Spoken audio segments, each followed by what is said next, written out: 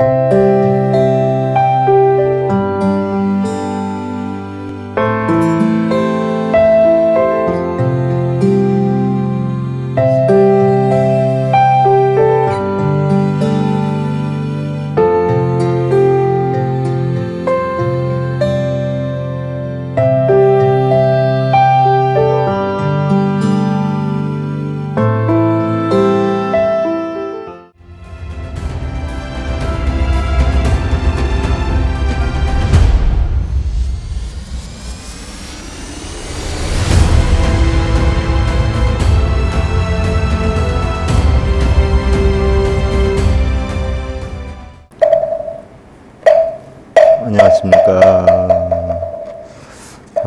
아, 육조 해능 스님의 육조단경 오늘 제 27회차 서길봉입니다. 음, 지난 시간에 우리가요, 음, 육조 해능 스님의 품 가운데 열 번째 삼신에 대해서 공부를 하다가 마무리를 못했어요. 어, 삼신이다라고 하는 것은 뭐 법신과 보신과 화신이지 않아요? 부처의 세 몸이 청정법신, 비로자나불, 원만보신, 노사나불, 천백억하신 서가모니불이다 라고 했어요. 지난 시간에 우리가 공부한 게 여러분들 어, 간단하게 요약을 해드리면 우리는 어, 초기 경전에서 어, 쉽게 얘기하면 암사성에서 배우긴 법신, 보신, 화신이 따로 있는 걸로 배웠어요. 법신, 보신, 화신이. 자, 이제 단계가 높이 올라가니까 이제 양상이 달라져요. 법신은 비로자나불이라고 하죠. 보신은 노사나라라고 해요. 화신은 서가모니불이라고 그럼 법보와 삼신이 비로자나 노사나 서가모니불이 우리 따로 있다라고 배웠어요. 따로 있다. 근데 지금의 단계에서는 따로 있는 게 아니다라고 배우고 있는 중이에요. 어느 누구든지 삼신하면 다 따로 있는 줄 알지 따로 있지 않다라고 하는 사람은 제가 볼 때는 단한 명도 없거든요. 아직까지. 여러분들은 지금 그 단계를 배우고 있어요. 왜 따로 있지 않느냐? 미타정토 삼부경에 보면 불산 무량, 어, 무량수경에 보면 어, 무량수경, 관무량수경, 아미타경 그런데 음, 뭐라고 나와 있냐? 유심정토라고 그래요. 유심정토. 정토가 우리는 서방에 있는 줄 알아요. 서방으로 시방하를 가면 있는 줄 안단 말이죠. 근데 유심정토예요. 공부를 해보면 어, 정토는 마음이 있다라고 해요. 정토는 극락이지 않아요. 그럼 정토에 가면 아미타불을 칭견할 수 있다라고 했는데 그럼 아미타불은 어디에 있느냐? 정토에 가면 볼 수 있느냐? 아미타불을 우리가 평생 볼 수 있을까요? 있지도 않지만 설령 있다 해도 보려고 하는 마음이 있으면 어떻게 돼요? 색심이 돼버려요. 공심을 떠나가 버려요. 그럼 못 봐요. 바로 뭐냐? 미타는 자성이다. 자성을 미타라고 한다. 그러면 자성을 미타라고 하는데 거기에서 어떻게 표현했냐? 아미타불을 협시하고 있는 게 누구죠? 좌관음 우세지예요. 그럼 아미타불을 가운데 놓고 좌측에 관세음보살이 우측에 대세지가 협시를 하고 있어서 대사가 세 분이 계시는 곳이라 3대사관 보상장업이다라고 우리는 표현을 해요. 세 대사가 있는 곳이기 때문에 그런데 세 대사가 있는 것이 아니다라고 하는 것을 여러분들은 배우는 거예요. 지금 무슨 얘기냐? 자성의 한 마음에서 아미타의 생각을 하면 그 마음이 아미타가 되는 거고 자성미타가 되는 거고 관세음을 생각하면 좌, 아, 자성 관세음이 되는 거고 대세지를 생각하면 자성 대세지가 된다. 그러니까 3대사관 보상장음이 아니라 거기에는 아무것도 없는 것이 극락이다. 바로 본성이 극락이다. 그럼 아미타경에 보면 자 전부 칠보로 되어 있고 일곱 가지 보배로 연못이 되어 있고 나무로 되어 있고 뭐 그물망 쳐져 있고라고 했는데 그럼 그건 뭐냐? 극락이 그렇게 형성되어 있다라고 하는데 음식도 먹고 싶다라고 하면 쫙 차려졌다. 다 먹으면 쫙 없어졌다. 또 실제로 먹는 것도 우리가 수저로 떠서 먹는 게 아니라 생각으로 아 음식 맛있겠다 먹었다 그러면 저절로 싹 없어졌다. 배가 고픈데 그럼 쫙 나왔다. 마음으로 먹고 마음으로 치운 거란 말이죠. 그러면 팔공육수로 된 연못인데 거기 들어가서도 아이고 물이 차다 그러면 금방 뜨뜻해졌다가 물이 좀 뜨거워 그러면 차졌다가 그러면 물이 너무 좀 찰랑찰랑한데 좀 여기까지 잔뜩 있었으면 좋겠어. 그럼 금방 여기까지 왔다가 물이 너무 많아 금방 허리축까지 갔다가 이제 물이 없었으면 좋겠어 하면 싹 없어진다라고 했어요 그게 극락이다라고 했어요 그러면 대부분의 사람들은 극락이다라고 하면 무슨 미신에서 추구하는 사상으로 알고 있어요. 근데 공부를 안 한 사람이에요.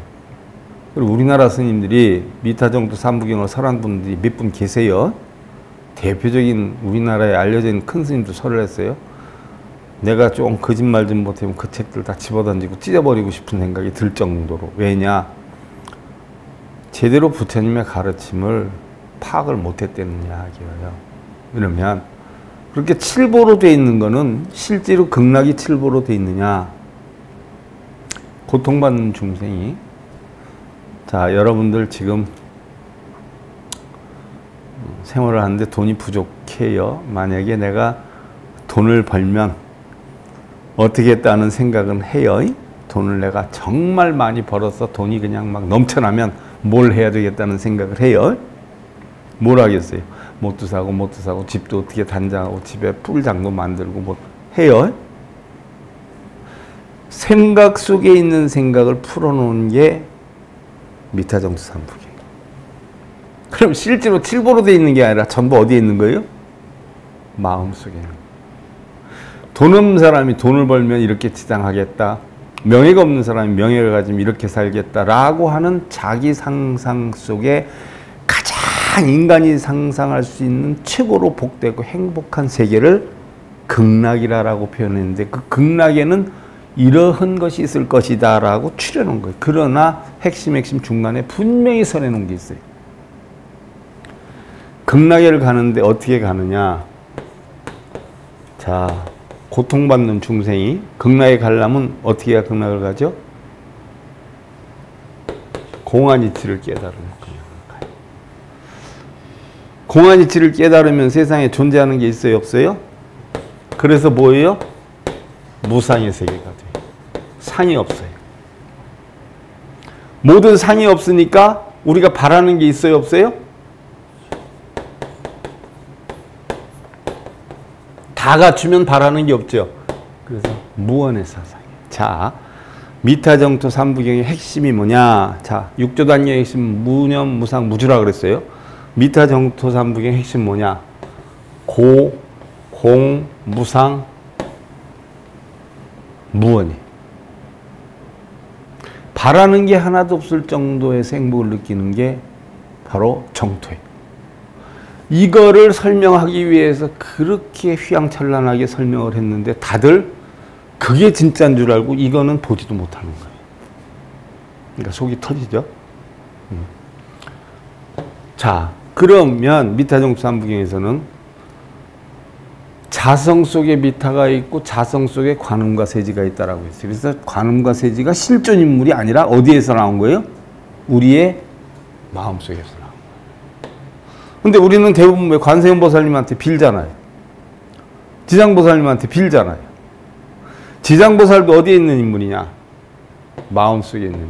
마음의 소리가 만들어낸 인물이 내가 업장이 많을 때 그 업장을 소멸해주는 가르침을 주신 분이 지장보살이다라고 해서 만들어 놓고 지장보살이 이런 가르침을 주었다라고 했어요. 그러면 우리는 지장보살의 가르침을 통해서 업장 소멸을 해야 되는 것이지 이티지 않은 지장보살을 찾으면서 업장 소멸해달라고 비는 건 아니거든요. 소원성취를 원하면 우리가 관음불공을 해요. 그럼 관음불공도 뭐예요? 원성취를 시켜주는 분이 아니라 관세음보살님의 가르침을 통해서 내가 원성취를 이룰 수 있는 진리를 배우고자 만들어 놓은 것이 실제 관음이 있는 게 아니에요. 그러면 자, 거기까지 여러분들 차원이 갔으면 간단하죠. 삼신불은 따로 있느냐? 자, 세상의 모든 진리가 법체가 비로잖아요. 법체를 볼 수 있는 건 누가 보죠? 마음에서 보죠. 물론 공한 마음에서 보는 건 아니에요. 공한 마음 자체가 법체고 우리가 눈, 귀, 코, 몸 뜻을 통해서 세상을 바라보는 이 마음, 비록 중생성이긴 하지만 우리가 마음에서 법체를 봐요. 그럼 법신은 어디에 있어요? 마음에 있어요. 세상 자체가 법체이긴 하지만 그럼 노사나는 뭐예요? 진리를 봤으면 법을 봤으면 법을 깨우쳐야죠. 법을 깨우치기 위해서 수행하는 그 자체를 우리 노사나라 그래요. 그것도 마음에서 하는 거죠. 그럼 진리를 깨달았어요. 깨달았은 걸 배운 걸 가지고 모르는 사람한테 가르쳐줘야 안 가르쳐줘요. 그게 바로 뭐예요? 서가모니 화신이에요. 그럼 법부화가 우리는 따로 있다라고 얕게 배웠는데 알고 보니까 법부화도 전부 어디에 있어요? 한마음속에 있다. 굉장히 차원 높아졌어요. 그래서 지난 시간에 시금이란 94페이지요. 제8식 아레야식을 말하는데 시금이다 하는 것은 아레야식, 아레야식이라는 8식에 8식에 저장되어 있는 것 시금이에요. 오메일의 양변을 떠나 중도의 도를 이루는 것을 깨끗한 유리봉 속에 법에 달는 것 같다라고 해서 오메일이에요 오메일이요. 백천삼매 도는수한 상태를 오메일이라고 그래요. 하나와 같이 여여하다. 뭐 하나와 같이 여여하다? 공한 이치와 같이 여여하다. 이야기예요. 깨끗한 유리병 속에 법의 달을 넣은 것과 같다라고 했어요. 깨끗한 달은 뭐예요? 허공이에요. 법의, 에, 법의 달은 뭐예요? 본성이에요. 안과 밖이 철저하게 밝게 되는 것을 뜻하니 이것을 진여본성을 깨친 성불의 경계이고 무소득의 경계고 한 법도 얻을래 얻을 수 없고 버릴래야 버릴 수 없는 경제인 것이다. 그래서 정토는 제가 나중에 미타정수 삼부경 다시 강의해 드릴 거예요. 천일법문에서 했는데 이렇게 설명을 못해 천일법문은 앉아서 5분 이렇게 하다 끝나는 거니까 100한 5, 60회 차로 했는데 여러분들 이해가 안 갈 거예요. 또 제대로 보는 사람도 없고 제가 이렇게 새로 강의를 하려고 하는데 자 그래서 허공과 같고 본성은 뭐예요?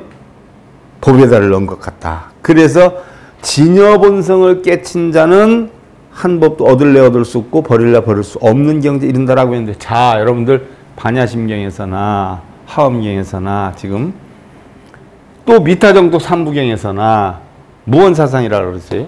바라는 게 하나도 없어야 되는 사상이다라고 했어요. 그럼 정토라고 하는 것, 자성이라고 하는 것은 이걸 가져야 되겠다, 저걸 가져야 되겠다, 저걸 버려야 되겠다, 이걸 버려야 되겠다 하는 생각이 일어날 수 있어요, 없어요? 일어나면 자성이 아니죠. 중생성이죠.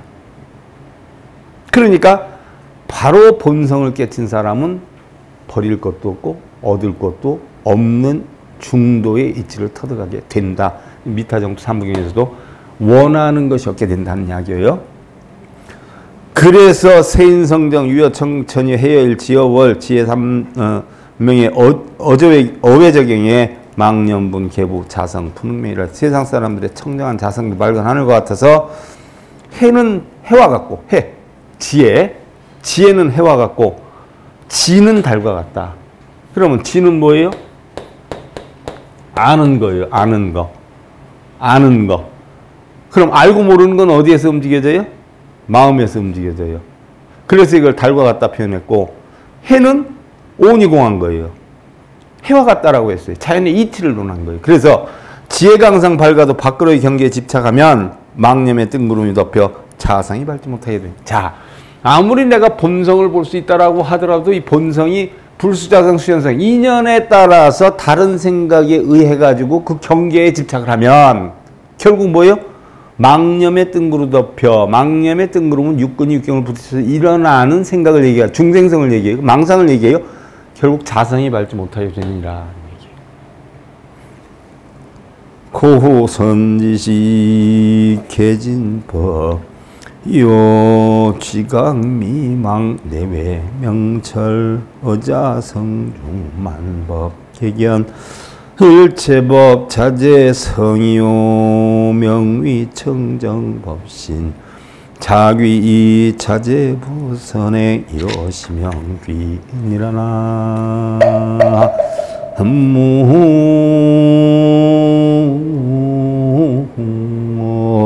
무미다.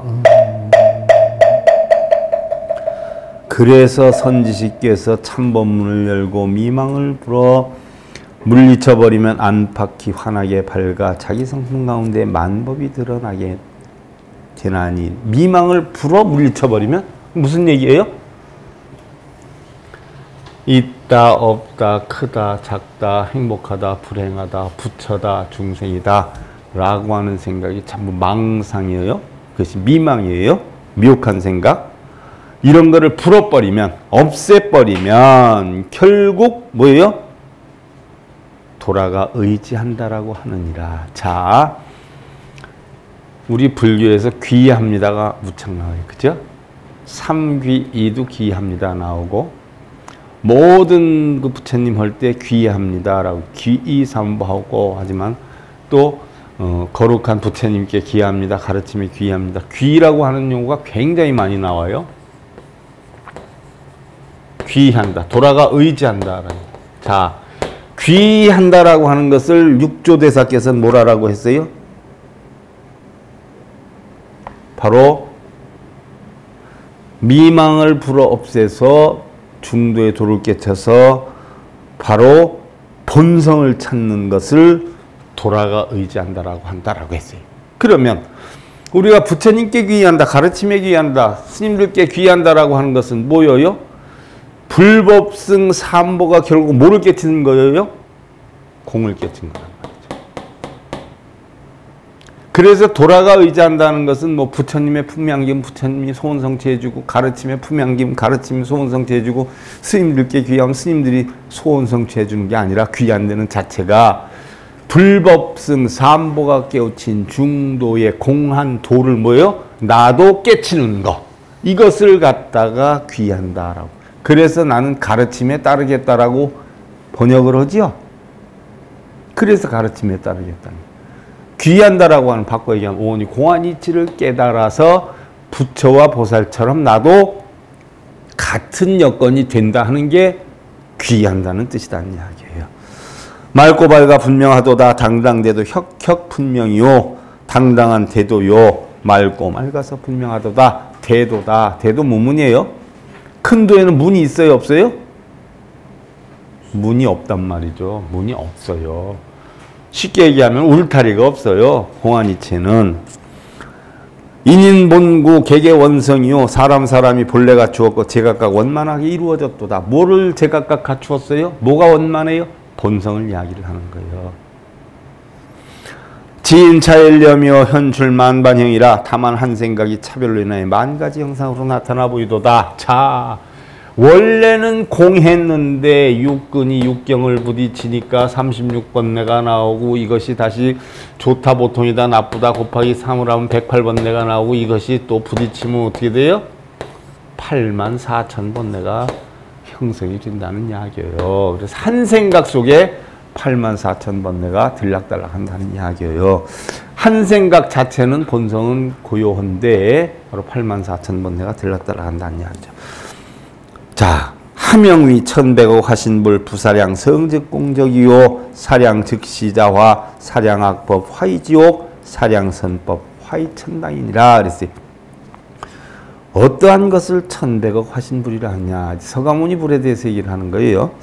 생각하지 않으면 자성이 곧 비어서 고요하지만 생각하면 이는 스스로 변하는데 악한 법을 생각하면 지옥이 되고 착한 법을 생각하면 천당이 되고 자 지옥과 천당 이런 것들이 전부 어디 있어요 다? 마음에 있다. 극락과 지옥이 전부 어디 있어요? 마음에 있다. 그런데 옛날 선지식들은 전부 마음에 있다라고 하는데 요즘에 왜 지식들은 천도제를 해야 극락 간다라고. 나 원래 천도제 안 하는 사람인데 천도제 좋아하는 사람들이 천도제 안 하면 걱정 생길까 봐. 그래서 내가 천도제 하는 거예요. 그래서 나는 꼭 뭐라 그래요? 영가도 극락생 시키지만 기도하는 사람 극락생이 더 급해서 천도제 한다. 왜? 그걸 해야 편안하거든. 그럼 영가가 극락 가는 거예요? 하는 사람이 극락 가는 거예요? 하는 사람이 극락 가 그래서 천도제 하는 거예요. 영가 극락생 시키려고 하는 거 아니거든요. 그럼 어차피 똑같은데 왜 거기에다 몇백만 원, 몇천만 원을 드려요?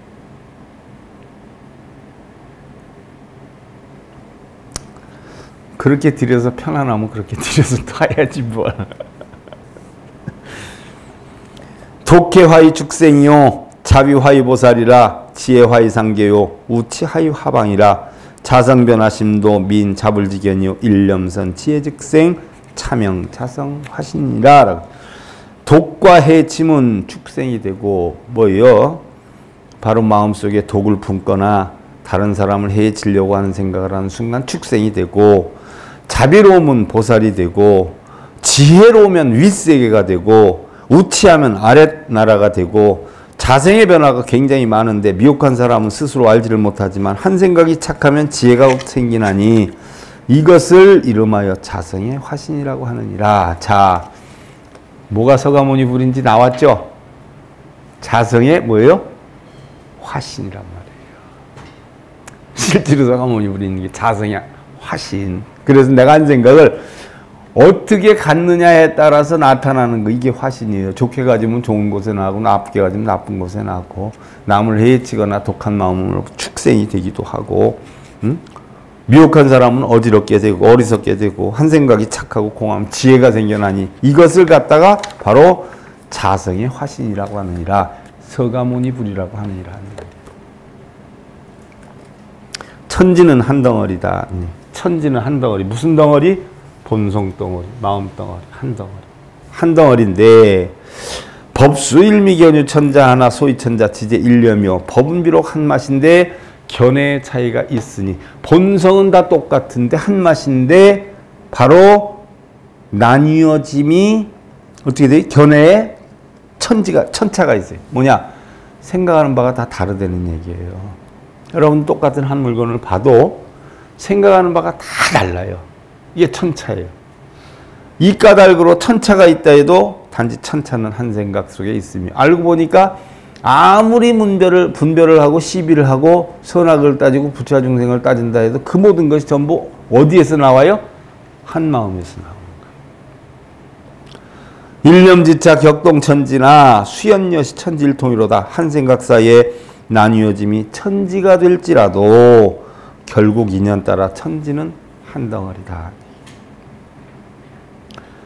자, 그래서 그 전에 육조 해능 스님이 바람의 깃발에 나부끼는 걸 보고 거기에 학생들이 어, 바람이 깃발을 나부낀다 하니까 깃발이 나부끼는 거다. 그래서 시종일관 둘이 다투다 보니까 뒤에 있다가 인종법사가 강의할 때 뒤에 있다가 육조 해능 스님이 유발자로 자기 신분을 숨기고 있었잖아요.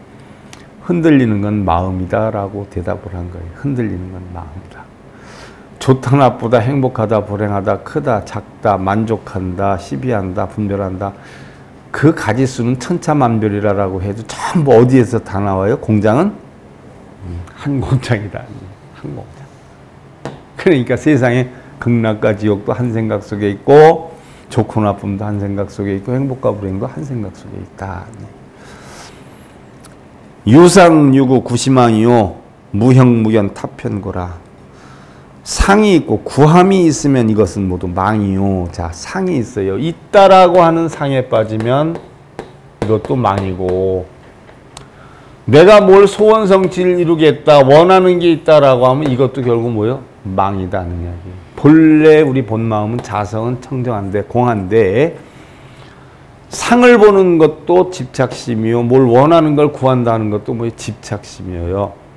이게 결국 뭐를 만들어요? 고통을 만든다는 이야기죠. 그래서 상이 있고 구함이 있으면 모두 망이요. 무형무견은 치우친 소견에 떨어집니다. 무슨 얘기예요? 무형무견? 상이 있는데도 저게 무슨 상이야. 지금 있는 것처럼 보여도 상 아니야. 그리고 내 눈엔 상으로 안 보여. 다 공으로 보여. 또한 무견. 내가 원하는 게 있는 거 다 있으면 뭐해? 부자? 돈 많으면 뭐하냐? 뭐 높은 직에 있으면 뭐해? 이 자체도 결국 뭐예요?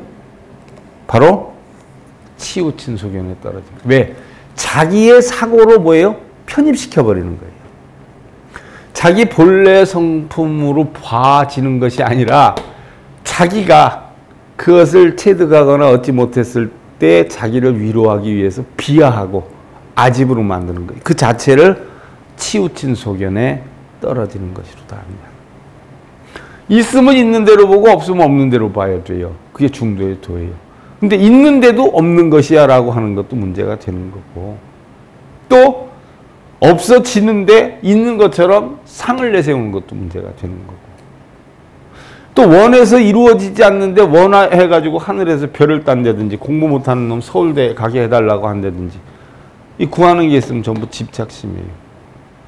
또 반대로 서울대 가면 어떻고 뭐 어? 지방대 가면 어때? 라고서는 자기를 합리화시키는 사상. 이것도 결국 뭐요? 치우친 소견에 자기의 삿된 소견에 치우치는 것이다.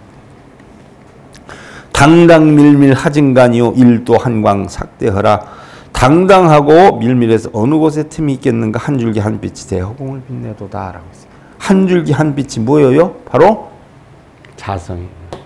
그래서 온 허공을 다 비추도다. 걸림이 있는 곳이 하나도 없게 되도다는 이야기. 하명원만 보신 불 일등능제 천년하며 일지능멸 만년 후여 막사향전 상사 어후 상운염선 명의보신이라 자 그럼 이제부터 보신불을 누구를 보신불이라고 하느냐 한 등불이 능히 천년의 어둠을 없애고 한 지혜가 능히 만년의 어리석음을 없애나니 과거를 생각하지 말고 항상 미래만을 생각하라. 항상 미래의 생각이 착한 것을 이름하여 청량한 것을 이름하여 보신이라고 하느니라. 무슨 얘기예요? 아까 제가 보신을 뭐라고 했어요? 자기 마음에서 수행하는 거라고 했죠. 깨달음을 얻기 위한 수행. 그러니까 여기 미래의 생각이 착한 것을 이름하여 보신이라고 하느니라. 청정한 마음을 깨달아가는 과정. 이거를 보신이라느니라. 일념악보 각 천년선지 일념선보 각 천년악멸 무시일에 훈염선 명이 보신이요 그랬어요. 한 생각이 약한 과보는 천년의 착함을 어떻게 하고 한 생각에 착한 과보는 천년의 악을 물리치나니 비롯함이 없는 때로부터 미래의 생각이 착함을 보신이라고 하느니라. 자, 나의 생각을 청정하게 만들어가는 과정을 우리는 보신 노사나불이라고 하는데 아무리 우리 고통번뇌가 많아도 한 생각을 바르게 갖는 순간 그 고통번뇌는 다 없어진다는 이야기예요. 그러한 청정함을 깨우게, 어, 깨우치게 되는 과정을 우리는 보신이라 한다라고 했어요. 그래서 마음에 걸어두지 않음이라 했는데 공유 이양망이요. 공과 유를 이미 둘 다 잊어버리고 자 공을 생각하면 공에 빠지고 유를 생각하면 유에 빠지게 되죠. 그러니까 공과 유를 다 잊어버리고 이것을 우리가 성철 스님 백일법문 시간에 배운 걸 교종적으로 따지면 쌍차 쌍조하고 선종적으로 따져보면 진공 묘유하고 한 이치여요. 이력 불쾌해라 하나마저도 가슴에 걸어두지 않음이라. 자 모두 하나도 다 걸치지 말고 다 어, 비워버려라 라고 해요. 그러면 제자가 물어요 선지기 그러면 시로라기를 하나 걸치면 어떻게 됩니까? 라고. 시로라기를 걸쳤다는 생각마저도 뭐예요? 버려버려라 옛날에 어느 절에서 수행하는 행자가 있었어요.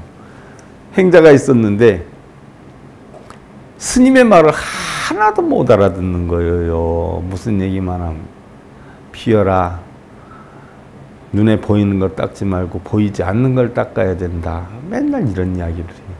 그러니까 도대체 뭘 닦으려는 건지 뭔 소리인지 하나도 모르 그래서 나중에 도대체 스님 제가 알아듣지도 못하는 소리만 하시는데 제발 바른 가르침 좀 주세요. 바른 가르침. 근데 스님이 바른같이 좀 주고 있는데 그 행자가 알아듣질 못한단 말이죠. 그러니까 행자가 어떤 생각을 아이 난 저 스님 밑에서 공부하긴 틀린 것 같아. 하나도 뭐 가르쳐 주지 않고 맨날 알지도 못한 소리만 툭툭 내던지는데 도대체 뭘 배우려는 겨? 아니 나 이절하고 인연이 안 돼서 떠나야 되겠다. 떠나버려. 야밤에 바람 하나 챙겨가지고 짊어지고 떠나. 그러다 이제 몇 년 만에 그래도 자기 이 스님 생각이 나는 거예요. 그래가지고서는 에이 이쪽 부근으로 가는 김에 스님한테 들려서 음, 인사나 한번 드리고 가야 되겠다. 갔어요. 스님 방에 계셔. 아 근데 온다는 생각 때문에 허겁지겁 오다 보니까 음, 아무것도 못 사온 거예요 스님 거를. 가차 싶어요. 돌아갈까 에이 그래도 사실대로 못 사왔다는 거 어, 사정 말씀 드리고 인사나 해야지. 스님 스님을 누구냐 밖에 아 저 아무개인데요. 아 제가 지나가다 급하게 오느라고 스님 뭐 하나 사다 드린다는 깜빡 잊고 왔습니다. 스님 죄송합니다. 그랬더니 안에서 나오는 소리. 어 내려놓고 들어오너라 한단 말이야. 아니 스님 사온 게 아무것도 없는데 뭘 내려놓고 들어오라는 이야기입니까? 그랬더니 어, 그럼 도로 가져가거라. 한더니 결국 얼굴도 못 보고 하여간 저 양반 아직도 나한테 헷갈리는 소리만 하고 있냐고 둘둘거리고 오는 거예요. 둘둘거리고 하, 역시 나는 안 돼. 뭘 가져오지도 않았는데 내려놓고라 그러고 안 가져왔다니까 뭘 가져가라고 하는기요? 참 희한한 양반이네 하고 둘둘거리고 스님 욕을 한참 하고 가다가 발을 헛디뎌 가지고 낭떨어진데도 모르고서는 발을 팍 헛디뎌서 뚝 떨어지다가 나무에 탁 걸려요. 그 순간에 아차 싶은 생각이 드는 거예요. 그 순간에. 그 스님이 했던 이야기가 순간 스쳐 지나가는 거예요. 하, 하. 그리고 결국 거기에서 나와가지고 스님한테 찾아가서 눈물을 흘리면서 스님 이제야 무슨 소리인 줄 알았습니다. 어, 스님이 들어가. 아무것도 사오지 못했습니다라고 했는데 내려놓고 들어와라 하는 건 무슨 얘기예요? 아무것도 사오지 못했다는 그 생각을 내려놓는 얘기죠. 그걸 못 내려놓고 또 물어보니까 어떻게 돼요? 그 생각에서 벗어나려면 내가 사오지 못했다는 생각에서 벗어나려면 뭐예요? 가져가면 벗어날 수 있어요. 그러니까 이래도 공 저래도 공한 이치를 가르쳤는데 결국 내 죽음이 한 찰나에 나무에 떨어지는 순간이었는데 그걸 못 깨친 거지요.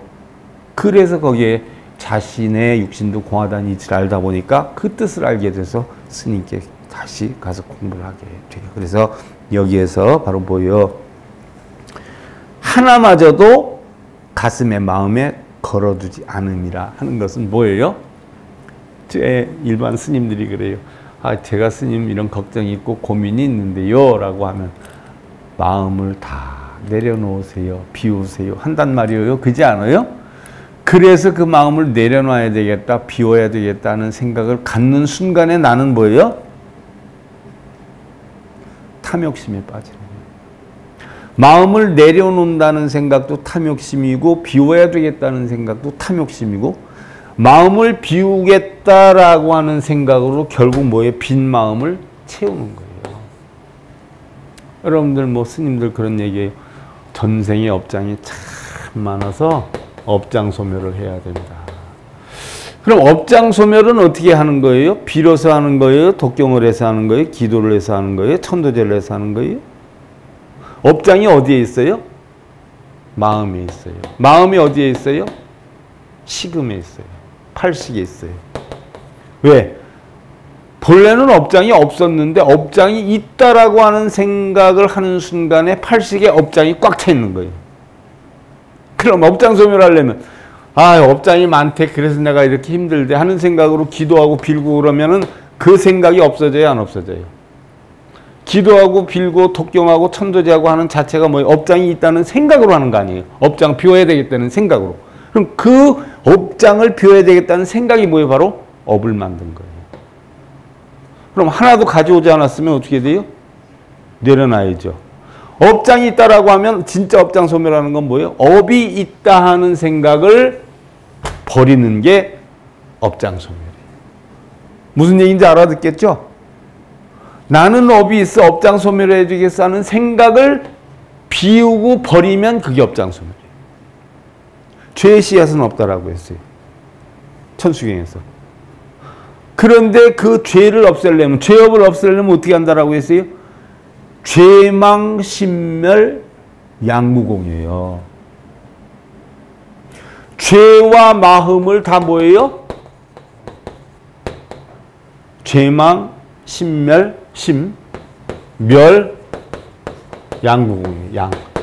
두 가지를 죄와 마음을 다 공으로 만들어 버리면 된다라고 했어요. 그러면 업장 참여가 된다라고. 이게 참여진 그런데 업장이 있다라고 해가지고 천도제를 유도를 하고 이렇게 하면 업장 참여를 해주는 거예요. 더 많은 업장을 쌓게 하는 거예요. 그럼 그게 선지식이에요? 악지식이에요?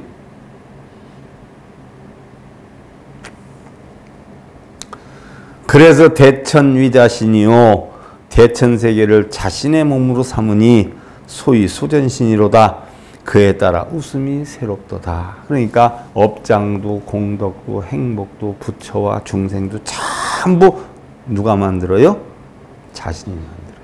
그래서 대천세계를 자신의 몸으로 삼으니 대천세계가 바로 뭐예요? 내 몸이에요. 그럼 대천세계에 떠다니는 허공이 누구예요? 자신의 마음이에요. 텅 빈 자성의 마음이에요. 그에 따라 웃음이 새롭도다. 자, 여러분들 큰 스님들 옛날 시나 뭐 이런 거 제가 요즘 석전 큰 스님 태고 복사 스님의 그 태고록에 있는 시하고 석전 스님은 어, 온천지를 기행을 하면서 쓴 시하고 계속 요즘 고승법에 소개를 해드리거든요. 해드리면서 그 시만 읽어드리는 게 아니라 시를 다 풀어서 내가 해설을 해 주어요. 그러면 시를 이렇게 읽어보면요. 공부를 좀 하신 분들은 눈에 보여요. 아, 이게 무슨 소리구나. 아, 이게 무슨 소리구나. 다 보여요. 그럼 거기에서 감탄도 하고, 마음이 찌릿찌릿하기도 하고, 이러거든요. 근데 일반 사람들이 보면 모르죠. 털끝 위에 태고함이 걸려있도다. 이렇게 표현을 하기도 하고요. 언제나 줄 없는 검은 고를 가져와서 구멍 없는 피리와 같이 연구를 연주를 해볼까나 이런 용어도 많이 나와요. 무슨 얘기예요? 언제나 누가 뉘리까 줄 없는 검은 고를 가져와서 구멍 없는 피리와 어떻게 합찬을 연주해볼까 이런 표현이 많이 나와요. 이게 무슨 소리일까요?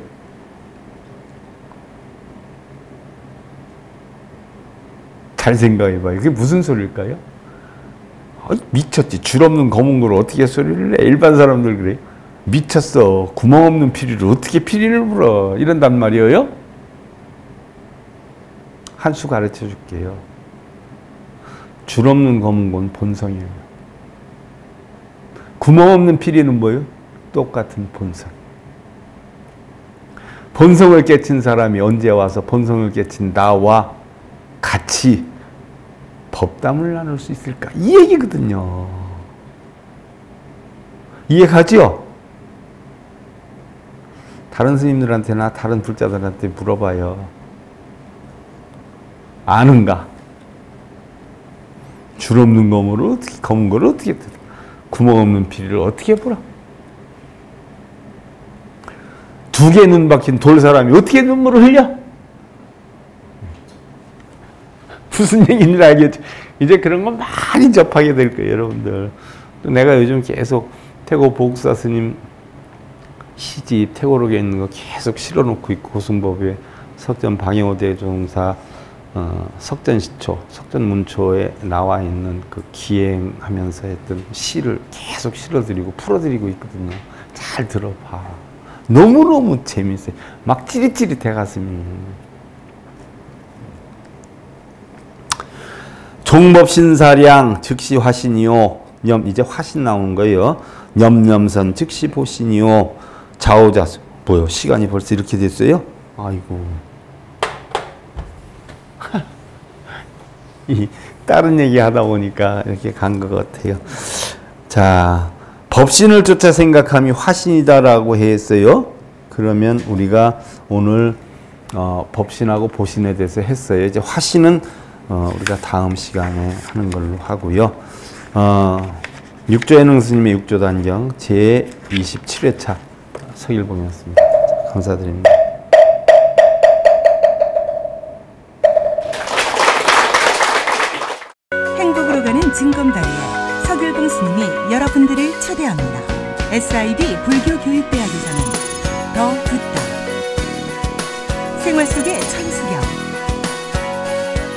달마대사 성관법 현대생활 불교 법요지 불교학 개론 성찰스님 백일 법문 등을 비롯한 다른 불법, 다른 진리. 서길봉 스님의 SIB 불교 교육대학